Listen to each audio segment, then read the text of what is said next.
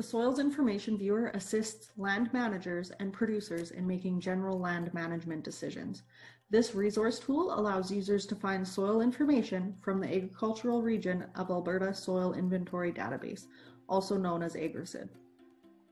This is the first page you'll get to when opening the Soils Information Viewer, and to start, you click Close and Continue. This menu on the left-hand side is how you navigate throughout the tool. If you scroll down to the bottom of the menu, there are options for Base Map, Layers, where you can uncheck layers you don't want and check layers you want to see, Measure, where you can measure distances or area. There's also a markup tool to draw on the map, there's a print option and then import and export. The first thing I do before searching for a legal land description is I click on base map as I prefer the imagery with labels base map so it's easier to see your farm or agricultural land.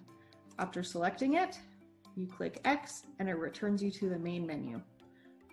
Then we scroll up to the search bar and from the search bar, you can search for your farm or land by legal land description, coordinates, polygon ID, or town names in Alberta. For this example, I'm going to search by legal land description. So I'm going to randomly search the Southwest, 19, 42, 25, west of the 4th, and click search.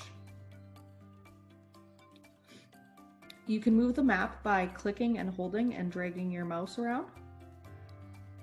And then to zoom in or out, then we can see that here is the southwest of 19.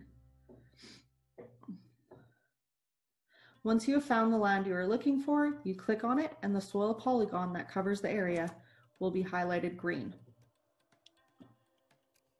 Soil polygons are areas that have the same or similar soil characteristics.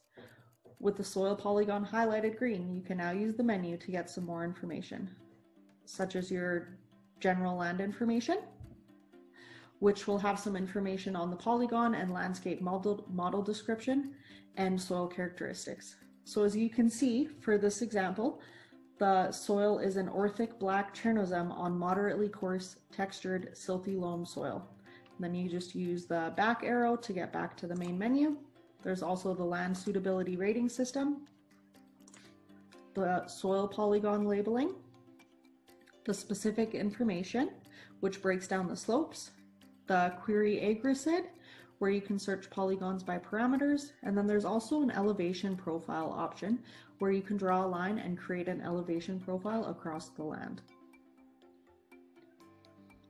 For more information on using the measuring and markup tools and how to create a map, please watch the Creating and Exporting Maps video.